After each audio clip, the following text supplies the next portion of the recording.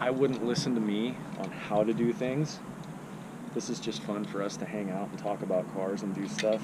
Um, I know enough about cars to get myself in trouble.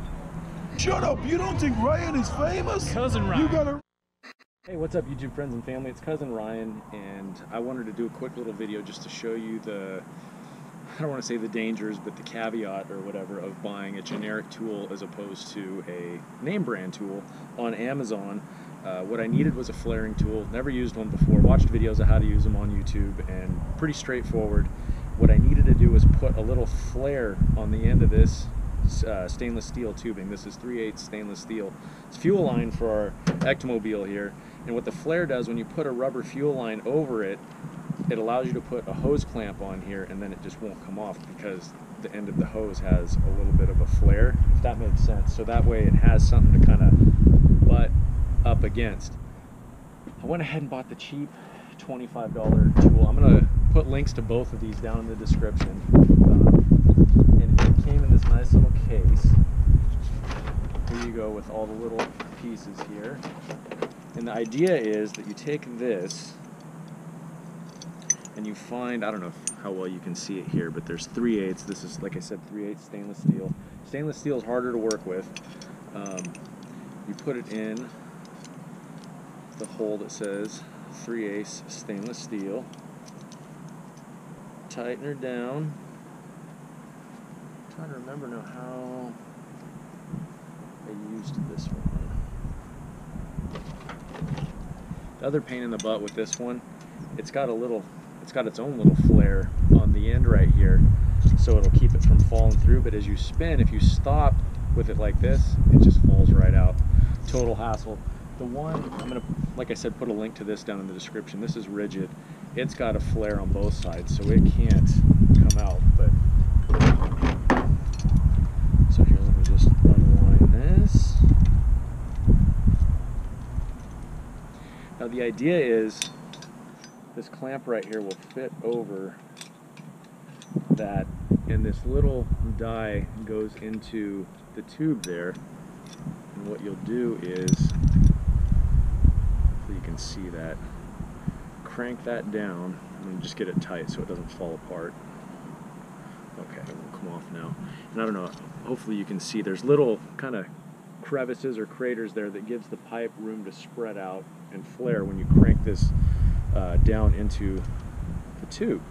But what happens, this doesn't grab the tube very well, and what it ends up doing is just pushing the tube right out of the holder.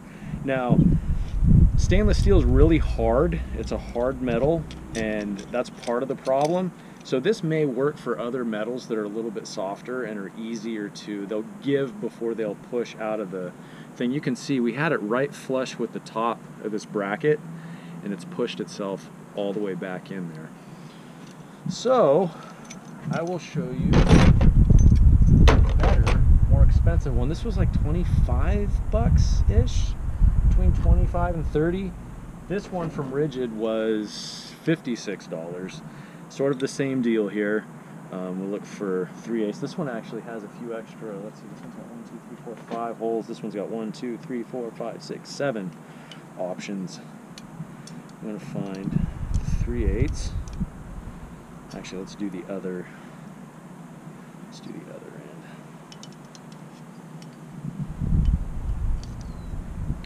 Fit it in there. Then this slides on here. You know, and one thing I did have to do when I was doing the fuel lines, I had to, sorry, I don't know, maybe that was out of frame. Sometimes to get it really clamped onto that tightly, I had to crank this one down and it kind of squeezes this bracket around the uh, tube a little bit and then you can slide it the rest of the way. Again, I'm not a mechanic. I'm all completely self-taught. I have no formal training. So I wouldn't listen to me on how to do things. This is just fun for us to hang out and talk about cars and do stuff. Um, I know enough about cars to get myself in trouble. Okay, here we go. I don't know if you guys can see that. I'm moving the, the die down into the tube there. tighten that up. Now I'm going to crank this one down. Get it really, really tight. Tightening this one's important because it grips the, the tubing then and prevents it from sliding out of the bracket. Okay. Then we'll just crank this down.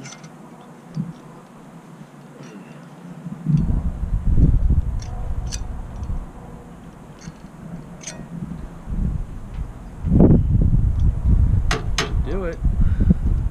Now undo it. There we go.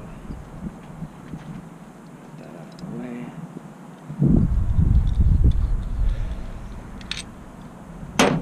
Like I said, this is more of a just a comparison between the tools and not so much a, a how-to. But there you go. You can see that created a nice little flare on the end of that. So again, this is the case of spending, well, twice as many dollars, but spending a few more dollars on a good name brand tool like Ridgid. It works properly. This cheap, generic Amazon stuff doesn't work so much. I will link both of them down in the description though, just so in case you're interested in buying these, uh, you can see which one not to get. And like I said, this may work with some softer metals. It doesn't work with a dang with stainless steel, and uh, at least not three quarter or three eighths stainless steel. I hope I said three eighths from the beginning. But that's it. Um, hope you guys got something out of that. And until next time, be excellent to each other. You know, say it's cousin Ryan on the Hollywood Boulevard. You know, say he bigger than any superstar. All Oliver Smith, he some some real dope bar. Some them sweeter than any chocolate bar. Boom. Hey.